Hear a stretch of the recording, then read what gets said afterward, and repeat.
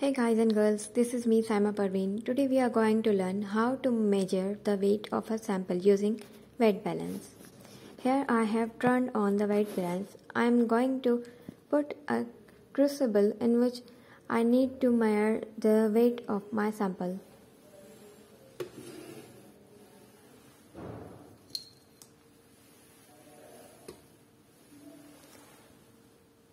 Before putting my sample in it, I need to tare the weight of the crucible. Here is the tare button.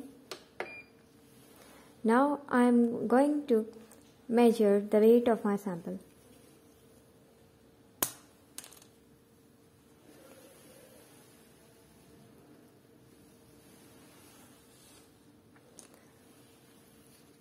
Now you can see it is about 1.29 grams. This is how we can measure the weight of the samples using the weight balance simply by taring the weight of our container and then note the weight of your sample. Thank you.